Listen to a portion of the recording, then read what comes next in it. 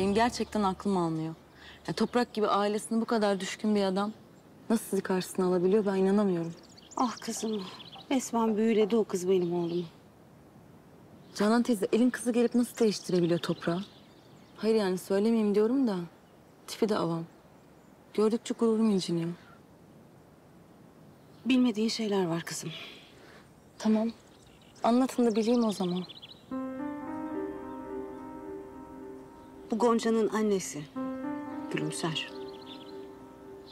Zamanında Halil'e musallat olmuştu.